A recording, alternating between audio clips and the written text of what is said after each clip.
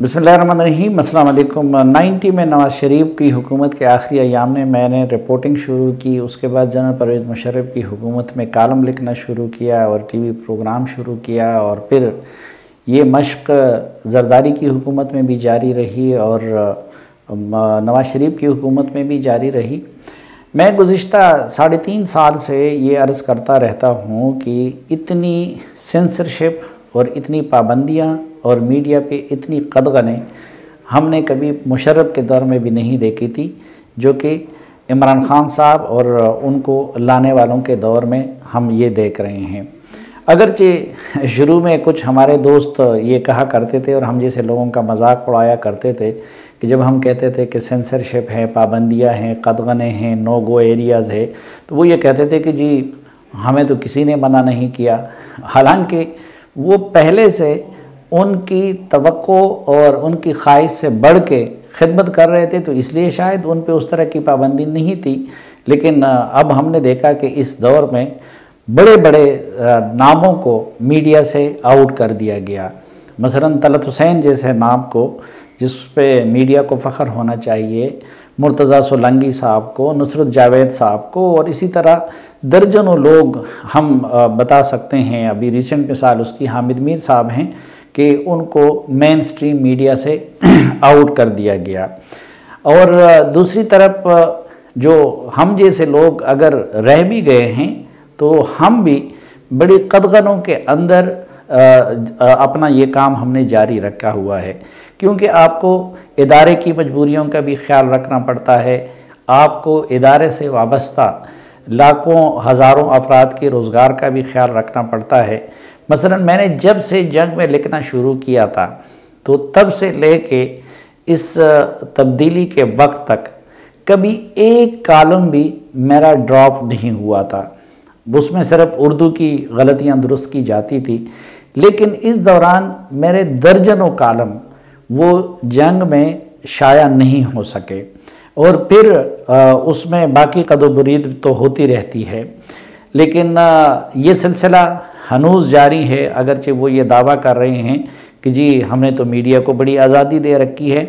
लेकिन पहले तो सिर्फ़ हम जैसे लोग ये दावा करते थे, लेकिन कल जो शोकाज नोटिस इमरान खान साहब को दिया हुआ है, और इससे पहले वी लॉग में आप उसका तफसीली तस्करा सुन भी चुके हैं, अहमद जवाद साहब, जो कि 20 साल से पीटीआई के सेंट्रल एग्जीक्यूटिव कमेटी के रुकन हैं, और इसके साथ साथ वो सेक्ट्री इतलात भी रहे हैं, मरकज़ी सेक्ट्री इतलात भी रहे हैं।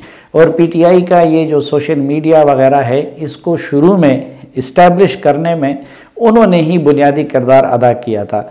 अगरचे इस बदतहजीबी में उनका असर नहीं है, क्योंकि वो एक शाइस्ता इंसान हैं। लेकिन उन्होंने न सिर्फ़ ये कि ये गवाही दी कि ये जितने भी गालम गलूच का सिलसिला है, ये सब कुछ इमरान खान की शह पे हो रहा है। और हम जैसे लोगों को और उनके फैमिलीज़ को जो गालियाँ पढ़वाई जा रही हैं वो इमरान खान साहब के कहने पे किया जा रहा है। लेकिन इमरान खान साहब को अब उन्होंने जो शोकाज नोटिस भेजा है उसमें उन्होंने खुद इमरान खान साहब को आ, ये लिखा है 21 नंबर पे कि आपका फरमान था कि सिर्फ़ करप्ट लोगों को मीडिया का खौफ होता है। आपके दौर में मीडिया पर मिलिट्री डिक्टेटर से ज़्यादा पाबंदियाँ लगी। क्या आप करप्ट हैं। मीडिया की आज़ादी की इंटरनेशनल रेटिंग में पाकिस्तान आपके दौर में मज़ीद नीचे चला गया। क्या आप मीडिया की आज़ादी सलब करने के ज़िम्मेदार नहीं? अब ये कोई सलीम साफ़ी नहीं कह रहा है। ये कोई तलत हुसैन नहीं कह रहा है।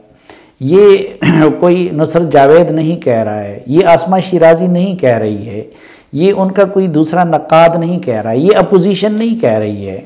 ये ख़ुद इमरान ख़ान साहब के पार्टी में 20 साल तक उनके सेंट्रल एग्जीक्यूटिव कमेटी के रुकन और कई साल तक उनके जेन वन सेक्रेटरी इतलात रहने वाले बंदे का ये फतवा है जो हमारी उस राय की तायद करता है।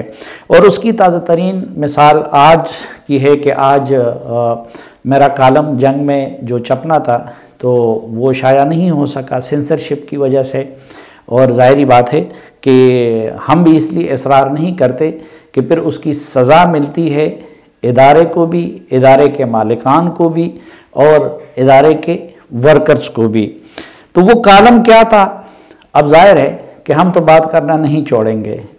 आप अखबार में नहीं करेंगे तो हम यूट्यूब का सहारा लेंगे। अगर ये कदगने ना होती तो हम जैसे लोग कभी भी यूट्यूब की तरफ़ ना आते। आप इसका भी कोई हल निकाल देंगे तो हम कोई दूसरा रास्ता निकाल लेंगे। आप उस रास्ते को भी बंद कर लें तो हम कोई तीसरा रास्ता निकाल लेंगे। जब तक ज़िंदा है, जान में जान है, दम में दम है, और जब तक ये ज़ुबान चलती रहेगी, और जब तक ये हाथ हिलते रहेंगे तो इन इमरान ख़ान साहब और उनके सरपरस्त ये इतमान रखे कि हम अपना ये काम करते रहेंगे। अच्छा कालम क्या था?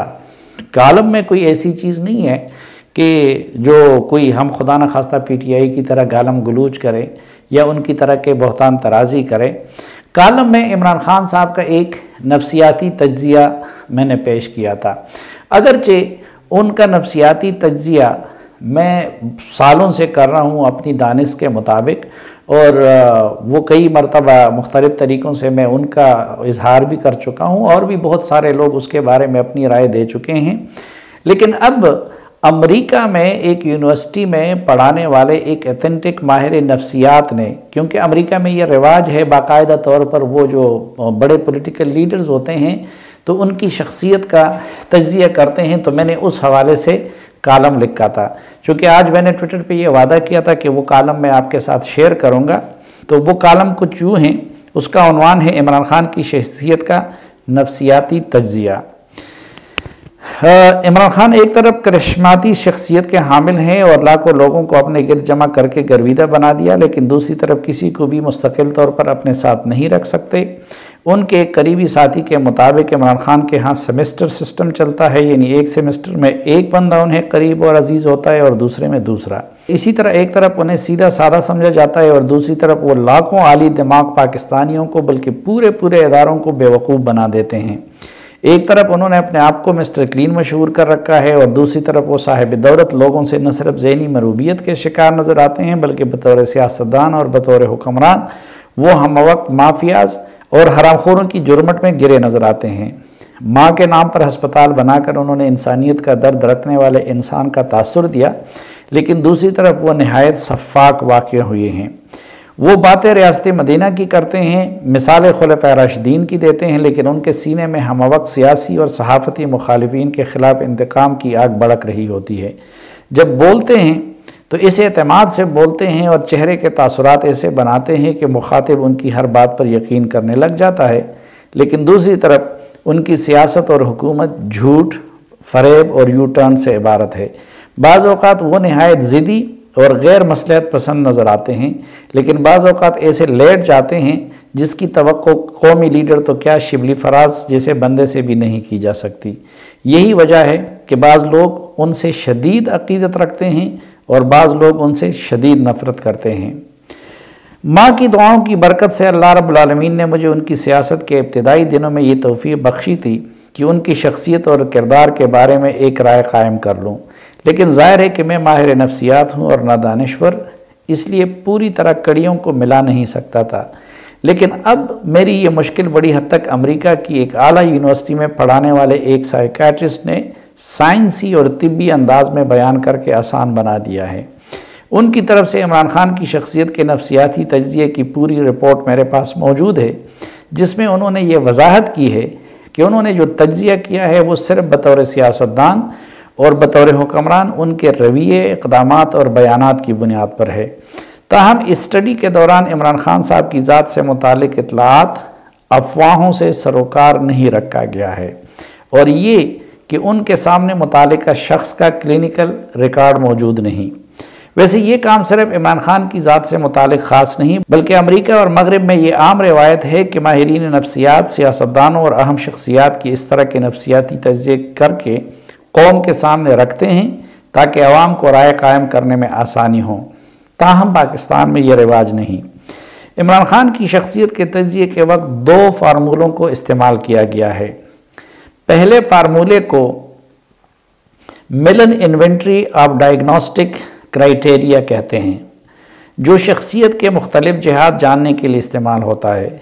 ये तरीका उन्नीस सौ निन्यानवे में दो माहरीन नफसियात, यानी अमेलमेन और स्टाइनबर्ग की तहकीक से माखोज है। दूसरा तरीका जो इस तजिए के लिए इस्तेमाल किया गया है, वो डार्क ट्रेड ऑफ़ पर्सनैलिटी कहलाता है, जिसे 2002 में पालहिस और विलियम्स नामी माहरीन नफ्सियात ने तजवीज़ किया है, जिसकी रूह से तीन बाहम जुड़े हुए मुख्तलिफ़ नफ्सियाती अनासर किसी शख्सियत की तश्कील करते हैं। ये माहरीन उन्हें साइकोपैथी नरगसीत और मिकियाविलियनिज़म के तहत बयान करते हैं। इमरान खान की मेडिकल हिस्ट्री, ज़ाती इंटरव्यू और किसी क्लिनिकल टेस्ट के बगैर मीडिया में मौजूद मवाद की बुनियाद पर जो तफसीली तजिया किया गया है, उसकी रूह से इमरान खान की शख्सियत में नरगसीत साइकोपैथी और मिकियाविलियनिज़म के अनासर बैक वक्त बदरज अतम जमा हो गए हैं। उनके नफसियाती तजिए की रूह से इमरान खान की शख्सियत में नरगसीत के अनासर बहुत ज़्यादा हैं, जो उसे एक ऐसा शख्स बनाते हैं, जो अपने आप को पसंद करता है, जो अपने आप को ही अच्छा समझता है और अपने ज़िम्मे लिए हुए हर काम को अंजाम देने के काबिल समझता है। वो किसी बात से मुतालिक अपनी सोच, अपनी पसंद नापसंद या फिर अपने फ़ायदे और नुकसान की बुनियाद पर तरतीब देता है। वो आम तौर पर अपनी राय हक़ या अकल की बजाय जज्बात, दकियानूसी तस्वरत, यानी स्टीरोटाइप घिसे पिटे हुए फ़िक्रों और अवामी तौर पर मकबूल तस्वरत की बुनियाद पर बनाते हैं।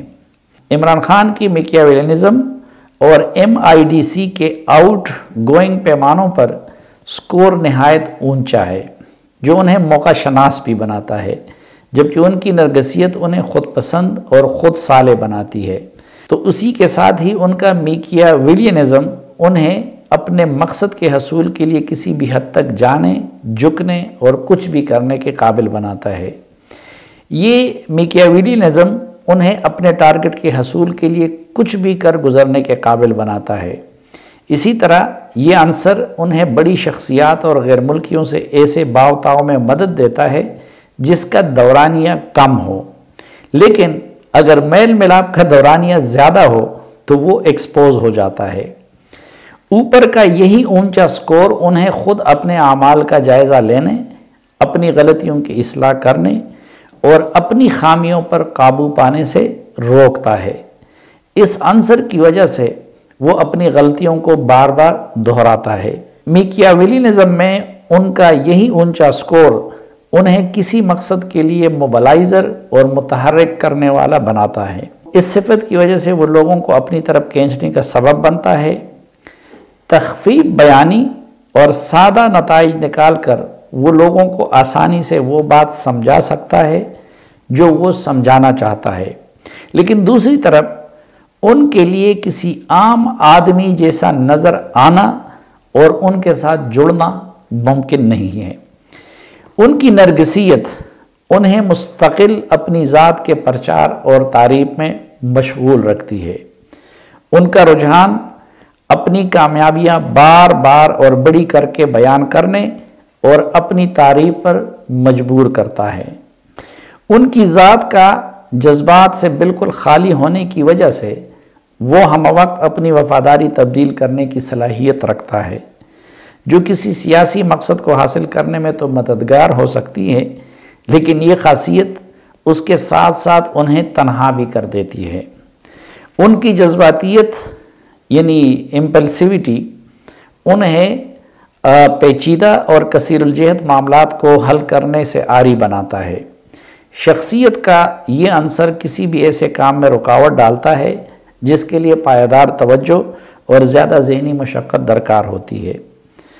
यही नासमझ जल्दबाजी उनकी तवज्जो और गौर करने के दौरानिया को उस वक़्त कम कर देती है, जब उन्हें किसी मुश्किल का सामना हो। इम्पल्सिविटी में ज़्यादा स्कोर रखने वाले लोग आमतौर पर सोच समझ कर तदबीर और अमल करने की बजाय लड़ने या भागने की राह इख्तियार करते हैं। इसी तरह इस किस्म के लोग किसी काबिल अतमाद मुशीर या मुआमिन के बग़ैर किसी बड़े ग्रुप को साथ नहीं चला सकते।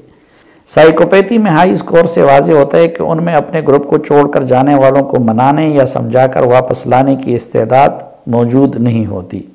वो अपने मुखालफन के साथ मिल बैठ कर एक मुश्तरक मकसद के लिए मुजाकर करने और उन्हें कायल करने की सलाहियत से भी महरूम होते हैं।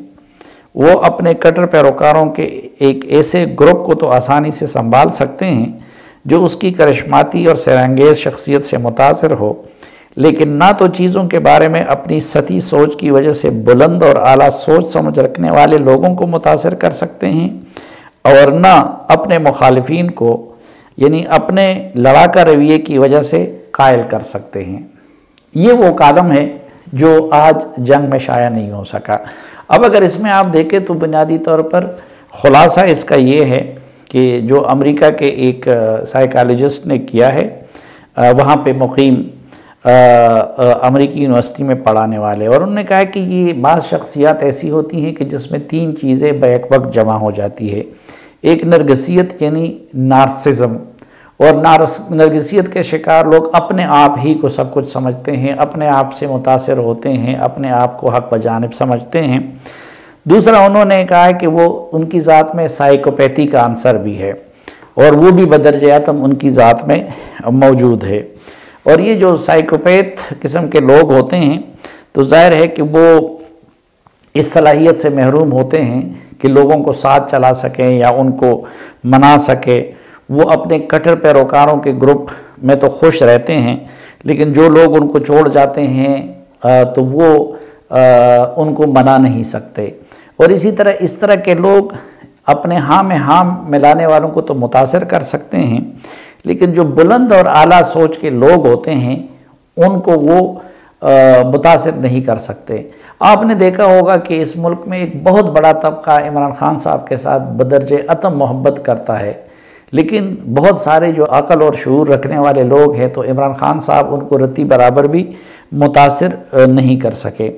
लेकिन जो सबसे बड़ी बात उन्होंने कही है कि इन दो खसूसियात के साथ साथ उनकी ज़ात में भरपूर तरीके से मिकिया विलिनिज़म का भी हिस्सा है। यानी वो इस लिहाज से मिकियाविली के भी पैरोकार हैं। और वही जो मिकियाविलिनिज़म है, मसलन अगर सिर्फ़ नरगसीत हो और सिर्फ़ नार्सिज़म हो तो वो इंसान अपने आप से मुतासर होता है अपनी तारीफ़ें करवाता है अपनी तारीफ़ें पसंद करता है सिर्फ़ अपने आप को सब कुछ समझता है लेकिन फिर वो हकीकत पसंद नहीं होता फिर वो चाले नहीं चलता वो फिर बेलचक होता है। लेकिन उनकी ज़ात में अगर मिकिया विलिनिज़म भी आ गया है तो वो फिर उन्हें चाले चलने वाला भी बना देता है और वो आ, उनको मसलियात पसंद भी बना देता है। तो इसलिए आपने देखा होगा, मुझे इस तरीके से इसलिए सौ फ़ीसद इतफ़ाक़ है कि आपने देखा होगा कि कहीं पे इमरान खान साहब बिल्कुल बेलचक नज़र आते हैं। लेकिन कहीं पे वो इंतहाई लचकदार मसलन आप देखें शेख रशीद के बारे में वो क्या कहते थे बाबर अवान के बारे में वो क्या कहते थे। अब अगर सिर्फ़ नरगसीत होती तो फिर वो इस तरह के लोगों को कभी करीब ना आने देते। शाह महमूद कुरैशी के बारे में उनकी इंतहाई नेगेटिव राय थी। अगर सिर्फ़ नरगसीत होती तो वो फिर कभी उनको करीब आने नहीं देते। लेकिन फिर जब वो मिकाविली के फ़लसफ़े पे चलते हैं तो वो फिर एम क्यू एम को भी साथ में ला लेते हैं, फिर वो बाबर अवान को भी साथ में ला लेते हैं, फिर वो शेख रशीद को भी साथ में ला लेते हैं।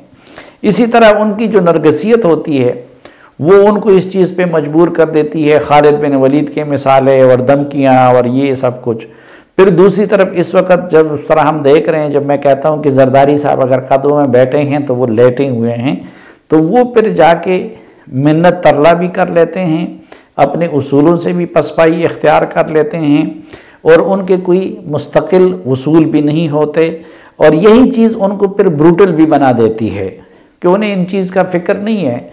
कि जहांगीर तरीन ने मेरे लिए क्या कुर्बानियाँ दी हैं, ओन चौधरी की क्या कुर्बानियाँ दी, वो उसको अमलीत पसंद और टारगेट ओरिएंटेड बनाता है। तो ये जो नफसियाती तजिया था, इमरान खान साहब का, जो एक अमेरिका की यूनिवर्सिटी में पढ़ाने वाले एक प्रोफेसर ने किया है तो मैं चूँकि वो मुझे ज़मीनी हक़ और इमरान खान साहब की शख्सियत के बारे में अपने जो मेरा तजिए उसके करीब लगा था इसलिए मैंने उसको कालम का हिस्सा बनाया था, वो वहाँ पे शाया नहीं हो सका। तो यहाँ मैंने आपके साथ शेयर करना ज़रूरी समझा।